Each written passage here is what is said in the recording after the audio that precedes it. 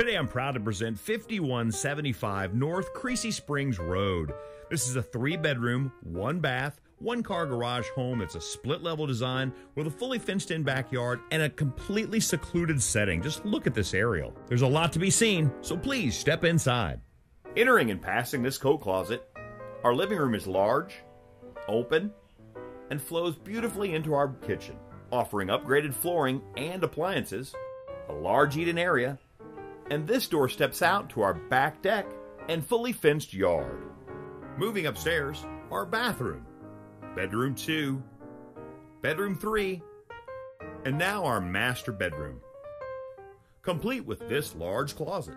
Our lower level living room, shown here as a home theater, is large and roomy and steps out to our one car garage.